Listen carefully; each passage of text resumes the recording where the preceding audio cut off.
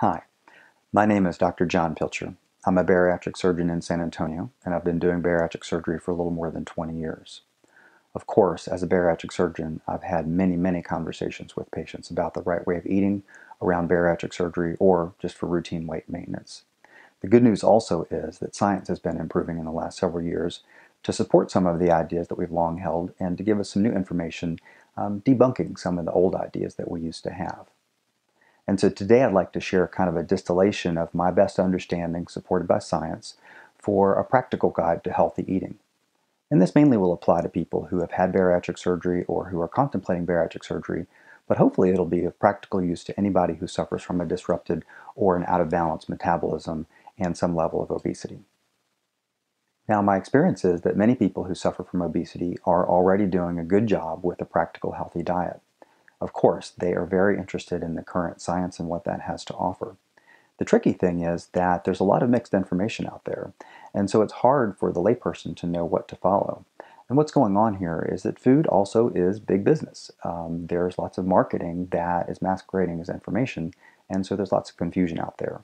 Also, the science has been developing quite briskly over the last few years, and I hope it will continue to develop so that perhaps we give an updated message a few years from now.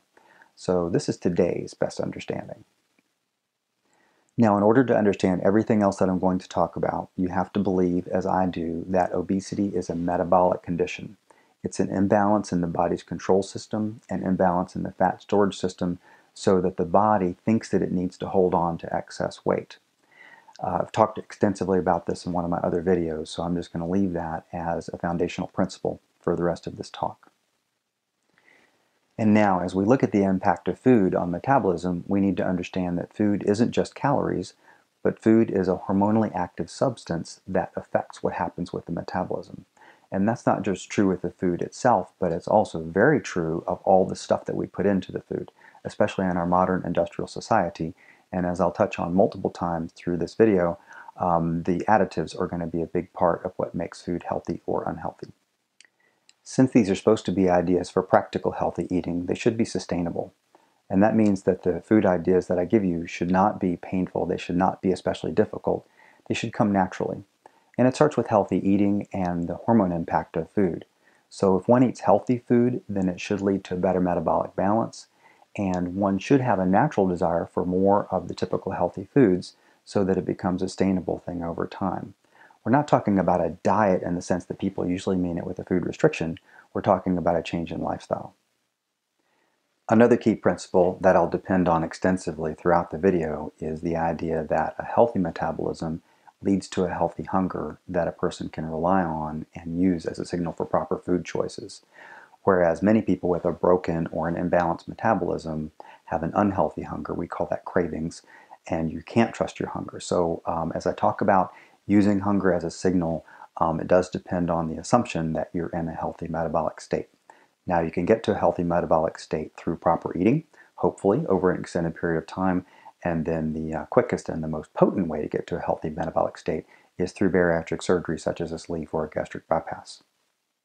For a person with a healthy, balanced metabolism, the right food choices lead to satisfaction in the absence of hunger, whereas the wrong food choices lead to increased hunger and the wrong food choices with the metabolic imbalance, the metabolic stress, and increased hunger can lead to an out of balance metabolism over time. Since we're talking about food as a hormonally active substance that can affect your hunger level and can affect your metabolism, the right food plan is mostly about what you eat and the quality of your food. It's a little bit about the timing of, you, of your eating, and it's not much about the amount of food that you eat. In other words, quality is more important than quantity, and if you take care of hunger, then the quantity piece will take care of itself as a natural outcome. This lets us move away from a numerical food plan so that we're not very concerned with counting calories or protein grams or carbs or fats. We are concerned about the quality of the food, and that's what's the food made from, what are the balances of these macronutrients, and as I'll mention in a little bit, we're also concerned that that food has high quality in terms of having low chemicals and low additives. Now, I know from conversations that this move away from a numerical food plan is difficult for a lot of people. The question comes up well, how much do I eat? How do I know when to eat?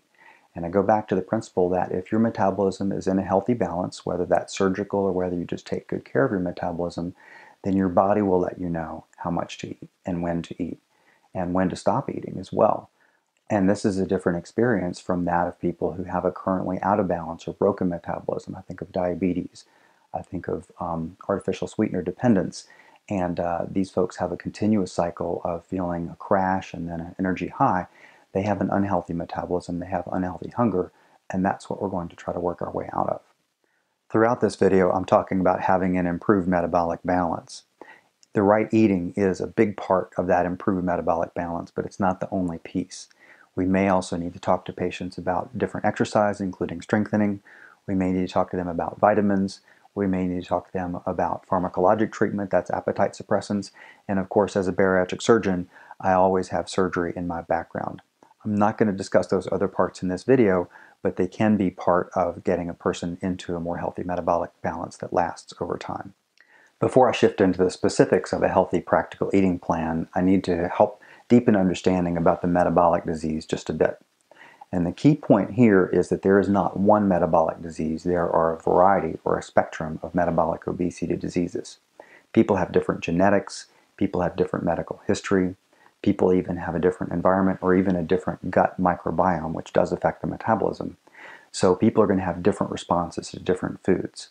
And when I get to guidelines in a minute, um, there are going to be some core principles that I think everyone agrees on, but there are also going to be substantial variations from person to person.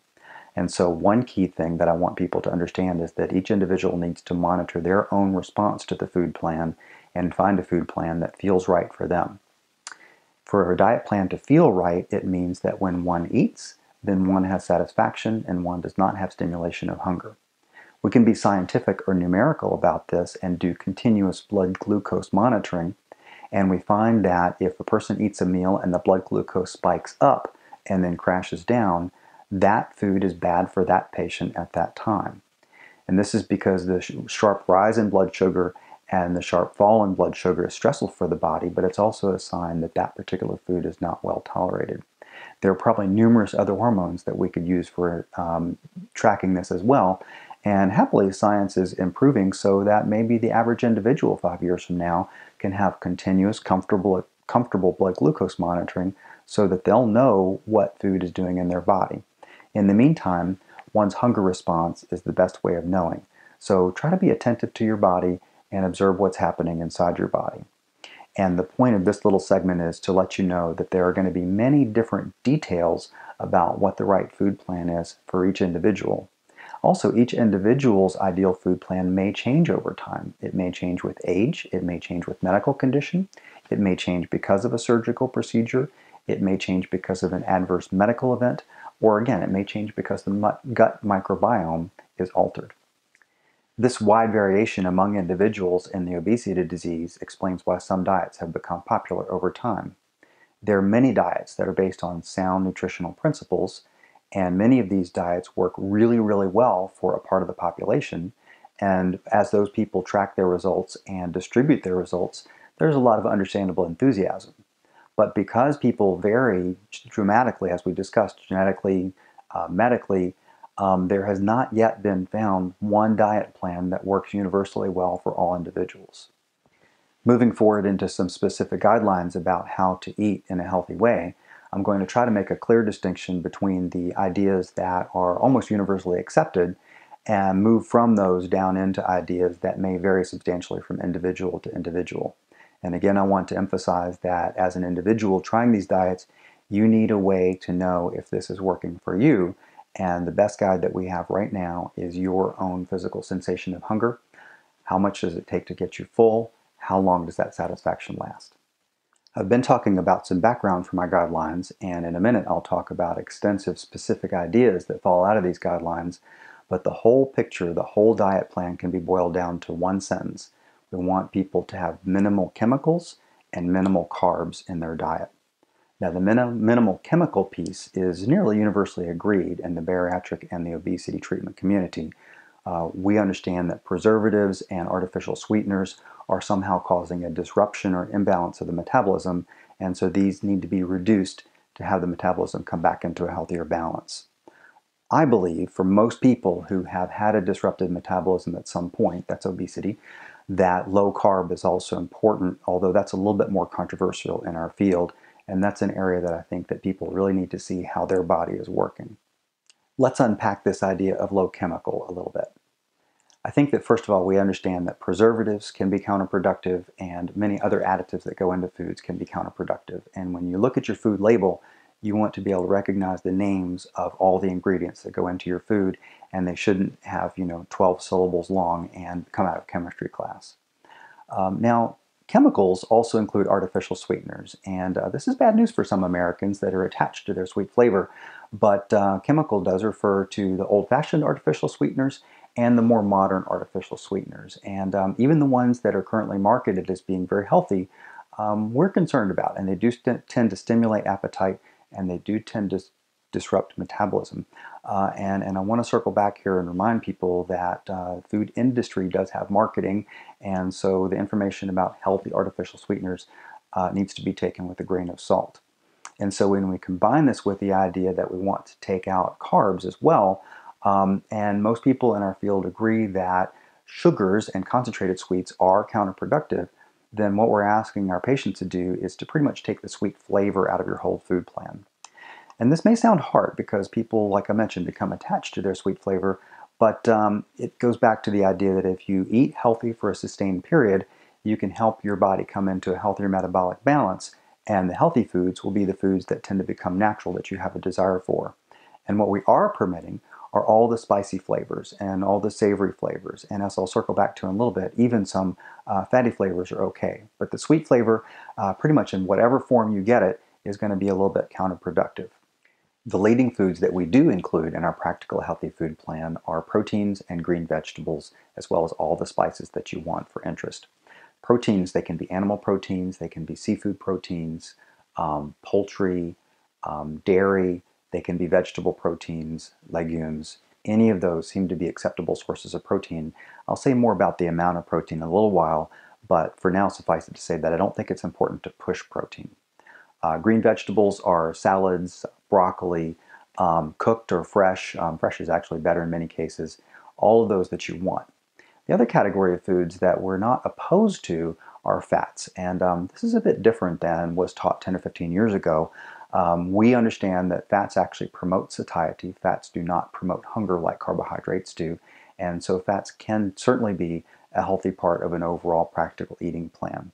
Here again, I don't emphasize massive amounts of fats or overwhelming amounts of fats, but we accept them as part of a healthy plan.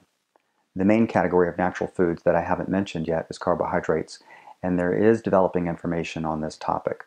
My understanding at this time is that most carbohydrates are counterproductive for people who have once had an unhealthy metabolism, even if they're in a healthy metabolic balance. At this time, it seems to me that carbohydrates are likely to push back towards an unhealthy balance. And I think that everyone agrees that concentrated sweets like candies and sugar are counterproductive. Um, I also believe that potatoes and rice and pasta and breads are counterproductive.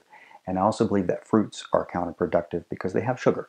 It's natural sugar, but it's still nature's candy, and I mean candy in a bad way in this context. Now, I will share with you honestly that there are uh, some researchers who believe that even for bariatric patients and folks with obesity history, that uh, fruits and selected carbs can be useful. So this may be developing further over time. Again, I want to return to the principle that you need to observe your body and observe how your body reacts to the food that you take in with the goal of having your food lead to the least practical hunger that you can experience.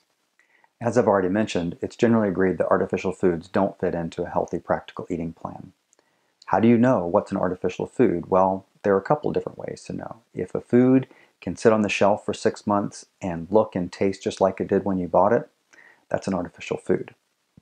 I like to look at the list of ingredients. And um, when I was thinking about this video, I was thinking I would recommend that uh, a healthy food, a natural food, should have no more than three ingredients on the label. That turns out not to be right. I think less than 10 is a useful guideline. And then let's just make sure that when you look at the list of ingredients that you can understand each item that's in the ingredient list. Um, I happen to have in my pantry uh, some light bread, some uh, low-fat bread, and it has 34 ingredients, including many chemical names. this brings me to a, another topic that fits with how to watch out for artificial foods. Um, many foods now are marketed as being light or low calorie or low fat or low carb. And I think in general, these foods should be avoided because what's happening is the manufacturer is taking out the fat or the sugar. Yes, they're taking out some carbs, but they're substituting some kind of chemicals to make it still be palatable or taste worthy. And mostly these chemicals that are put in are going to have worse negative effects than the fat or the sugar that was taken out. Topics is about protein shakes. And many people, naturally enough, will jump to the idea of protein shakes when we talk about a medical eating plan. And it's tricky because we do use protein shakes in bariatric surgery as a preparation step for surgery. Uh, many programs recommend protein shakes as a part of the recovery plan. Um, I don't recommend them for my patients. Uh, but I think that all bariatric team members agree that uh, in the long run, as you're trying to shift into the rest of your life beyond recovery, that natural food is preferred over protein shakes and protein bars. The problem with the protein shakes and protein bars is that they're artificial. Uh, and as artificial substances, they include preservatives and they include artificial sweeteners. And the flavor isn't as satisfying as actual food would be for most people. And um, the other thing is that um, they don't stick to your ribs very well because these are liquid or easily digested proteins um, versus natural proteins such as chicken um, or fish or something of that nature. Uh, so again, I don't think that people need to force protein. I don't want you having protein because you think you need it. I don't want you thinking that protein shakes have some special medical benefit. Um, I think that protein shakes should be used only in exceptional circumstances. One of those uh, is that if it works for you to grab a protein shake on the way out of the house in the morning, and that protein shake in the car as you're rushing to work uh, stops you from getting a muffin at Starbucks, okay, I can accept that but I don't think that protein shake is adding anything for you that couldn't have been supplied by eggs or ham in the morning. Or if you want convenience, then you could have had a piece of deli meat or a piece of cheese or a handful of nuts on the way out of the house. Those are all actual foods uh, that, in my mind, are preferred over the protein shakes when you're hungry. And the other thing about protein shakes is they bring with them the idea that you should eat or you have planned eating. And um, I, I, do want you to develop habits about how you eat, but I don't want you eating because you think you're supposed to eat. I want you eating because you feel that you're supposed to eat. That represents a balanced, healthy metabolism and it helps maintain a balanced, healthy metabolism. So, protein shakes, in summary, should have a very limited role in the long run after bariatric surgery. We all recognize that human nature comes into this plan, and temptations through the course of the day come into this plan. And so, what I like to teach patients is that the first part of the day is the most important part of the day to be on track with a healthy eating plan. That means avoiding the bad stuff and choosing the good stuff. Now, I don't tell patients that they have to eat breakfast. I'll talk about intentional fasting a little bit later on. But whatever your first meal of the day is, is going to have a substantial impact on the course of your metabolism through the course of the day. So if you eat sugars or artificial chemicals in the very first part of the day, it's going to stress your system and make your blood sugar spike up and then crash, which is a different system stress. And when your sugar crashes, you're going to have cravings. You're going to have hunger that's difficult to control. And this sugar coaster is not a good ride to be on. So, especially in the first part of the day, you want to stick with your proteins, your green vegetables, keep your carbs to a minimum. I would say no fruits in the first part of the day and really watch out for the artificial chemicals into your food. And one key thing, and, and Guys, I'm sorry, I'm going to use a brand name. Stay away from Coffee Mate, stay away from international coffees. These things are pitched as non-dairy, but remember, when you take out one of these fat, you know, natural things, you put in chemicals. And if you look at the label of ingredients for Coffee Mate or international coffees, it's cornstarch, it's high fructose corn syrup, and it's poison. And this is one of the biggest pitfalls that people have in the morning is they're putting this toxin into their coffee and no matter what else they do at the beginning of the day, it can mess up their pattern for the whole rest of the day. So watch out for that. Now, having said that the first part of the day is the most important, I don't want people to totally let go in the later part of the day. I still think that the later part of the day matters. And what I teach my patients who are working on better habits is every day is a new day. And every day you have a chance at a healthy, normal, balanced metabolism. And the further into the day that you take care of that metabolic balance with healthy eating, and avoiding the bad stuff, then the longer and longer in the day, it's going to be easier to do the right thing. And then carry that through a week. If you get on track Monday through Friday, excellent. If you can carry it into Saturday, excellent. If you can do it for three weeks in a row, that's even better. So this is something that you can build on every day, but if you mess up on some day, then the next morning you have a chance to start over again on the right foot. When I listed the foods that are included in a routine healthy eating plan, the first thing that I listed was protein. Everybody agrees that protein is a useful source of a healthy practical eating plan, but there are wide variations in the amount of protein that people prescribe. In my own practice, I like to stay away from a numerical approach and focus on what's the physical sensation. The other thing that uh, I like to try to re-educate patients about, um, especially patients that have been studying and working on this for quite a long time, is I'd like you to be protein focused but not protein obsessed. In other words, I don't want you to ever eat protein because you think you need to. I want you to eat protein because you feel that you need it. And again, I'm counting on you having a healthy metabolic balance at this point. I'm counting on you having an accurate sensation of hunger. And fortunately, that is true for the vast, vast majority of patients, and so it's reliable. One practical thing that comes out of this is that it's okay for people to eat legumes or salads instead of protein, or to eat the salad first and not worry about blocking out the protein. My experience is that patients will feel a desire for protein when they need protein. And the same thing goes with salts, and the same thing goes with spices. Uh, so generally, I advise people to follow their taste as long as their appetite and their hunger are in a healthy balance. Um, if you want some chicken, eat some chicken. If you want some salad, eat some salad. If you feel like garlic, then put some garlic on there. Now, if you feel like pecan pie, no, you should question whether your appetite is in a healthy balance because most of the time you're going to desire the healthy foods when your metabolism is working appropriately. Well, I was in the editing process and I realized that I had completely forgotten to talk about the timing of eating. And the timing matters because it turns out that it can be important for the body's uh, energy system to go through natural cycles of storing energy, that's eating, versus drawing on energy between meals. And it turns out to actually be pretty important to not constantly feed the body during the course of the day. In other words, it's not a good idea to eat six or eight small meals and to constantly be nibbling and snacking. Um, part of what we hope to do is create a situation where a person only feels hungry one or two or three times per day. That's part of the healthy, balanced metabolism. And uh, as with so many other things in this video, we want people to follow their natural sensations as long as the natural sensations are healthy. And so I mentioned, it is reasonable to eat breakfast or not, depending on how a person feels. If you feel hungry, eat breakfast. If you don't feel hungry at breakfast time, then we really believe that's okay. And we can take this even a step further into a plan or a style that is called intentional fasting that seems to be beneficial for many patients where people may eat once per day if they feel comfortable with that, or they may eat twice per day, or they may eat on some semi irregular plan. And um, it turns out that having extended time periods of not feeling hungry and feeling comfortable eating twice per day or once per day uh, probably indicates a healthy uh, metabolic balance. And so, this style of eating, called intentional fasting, um, can actually be a goal, although it's not required for all patients. I'm often asked if desserts have a part in a healthy practical eating plan, and the answer is yes and no. Uh, I don't think that desserts are ever healthy for you. I don't think they ever really contribute to your health.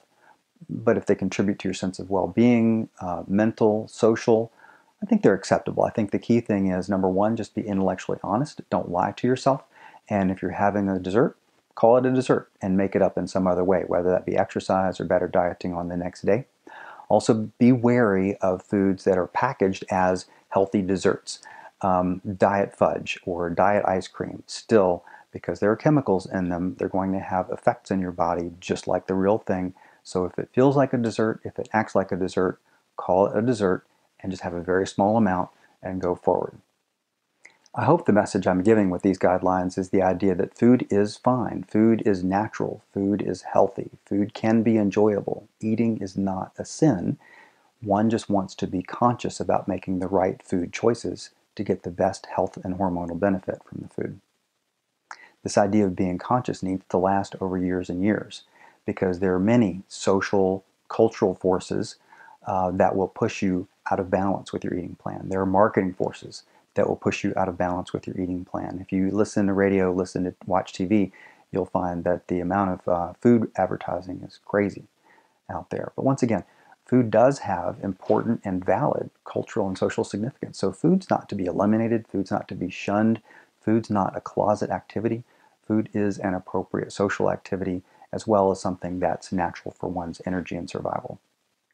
The next natural thing to discuss is the results that a person might expect from following a practical healthy eating plan, and here too I'm going to try to be practical and realistic. So the first thing that you should see if you achieve a healthier metabolic balance using food and using all the other tools at our disposal is that you should see a smaller, more natural hunger level. And that means that being hungry makes sense to you and according to what your body's doing and that normal amounts of food should give you satisfaction that lasts for several hours between meals. Um, if you're having food that does not make sense or if you're having cravings almost immediately after you eat, then your metabolism is not in an appropriate balance at this point, uh, and these principles are still a good idea, but probably something else needs to be done. You can expect also that you'll have a better sense of well-being. Um, many people that have excess weight and have a metabolic imbalance, they have a body pain syndrome. Maybe it's focused in a certain joint, maybe it's in the back, maybe it's a total body pain, but as your body comes into a healthier balance, the pain should diminish. You should also see improved numbers in terms of health parameters such as especially diabetes uh, and cholesterol and blood glucose variations. What about your weight? You may see your weight come down a bit, but you may not. And um, just the diet change and getting into a healthier balance is usually not something that results in 30, 40, 50 pounds of weight loss unless you take the extra step of reducing below a comfortable eating level. Um, and, and that has its place, but it's not really a sustainable part of the plan. And so to be honest, a healthy eating plan is good for weight stability and can be an important part of an overall major weight loss plan with some of the other tools that I've mentioned previously. If you're following a healthy eating plan after bariatric surgery, then of course there will be substantial weight loss and the healthy eating plan is part of helping your body maintain the improved healthy balance that you achieve through the bariatric operation. In presenting my guidelines here, I've intentionally tried to stay away from named diets. Um, the popular diets now are uh, ketogenic, um, Mediterranean, Whole 30, and these do have some merit, each of them, uh, but I don't think that any one of them fits with the population as a whole. Uh, I've also stayed away from um, philosophical lifestyle uh, eating uh, behaviors such as veganism and vegetarianism. Um, these certainly can fit with a healthy eating style, but uh, how that works goes beyond the scope of this video in terms of time. I want to cover a couple of semi-random topics that seem to fit into this healthy eating plan discussion.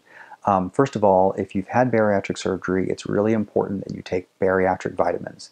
Uh, your sleeve or your gastric bypass or your duodenal switch has created changes in the way you absorb vitamins and so you need vitamins that are made to absorb with your surgical anatomy. Over-the-counter vitamins um, aren't necessarily going to keep that metabolism fully supplied with its necessary nutrients, and thus you will have a hard time maintaining a healthy balance in the absence of bariatric vitamins. There are at least three good brands of bariatric vitamins out there.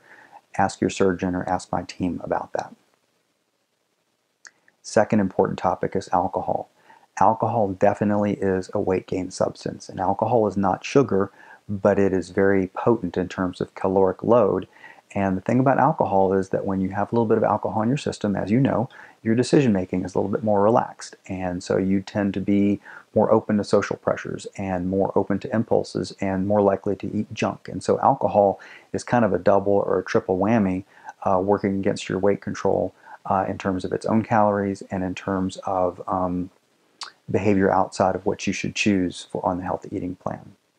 Coming down the home stretch in the video, I want to give you some caveats in hopes that the information here will be used correctly for everyone. First of all, this diet plan doesn't necessarily fit with duodenal switch patients because a duodenal switch does definitely reduce natural protein absorption and other nutrients, and so that requires a separate diet plan. This works very well for gastric bypass and sleeve, but not for every patient out there. Next, and as I always tell my patients, every surgical program has its own set of guidelines and they all fit together like pieces of a puzzle. So you can't necessarily pluck and choose different pieces of a puzzle and you can't pluck and choose a certain diet plan that may vary from the one that re was recommended by your home surgeon. So if you learned something in this video that you like, please do discuss this with your surgeon and your surgeon's team. Also in terms of cautionary notes, this video is supposed to outline a food plan that works in the long run uh, after bariatric operation or someone who has not had bariatric surgery. Uh, it's not really intended for the first couple of months after surgery. Now I still have the opinion that the operation gives you a much smaller, healthy, corrected appetite, and I still don't believe that people need to push proteins, but that is subject to some discussion in our community, and that's definitely a place where you should talk to your physician um, if you like the ideas uh, proposed in this plan. Last of all, I'll just say it again that the science in this area is evolving briskly, so I may need to change this talk again in two or three years, and I hope that we do learn more along those lines. Now, in final summary, the purpose of this eating plan is to try to help your body shift into a healthier metabolic balance. If you achieve that healthier balance, then you'll have a more natural, a more healthy hunger that you can trust to continue to sustain that natural healthy eating plan. The healthy eating plan is usually focused on natural proteins and green vegetables, and it does not include chemicals such as artificial sweeteners and preservatives. Enjoy.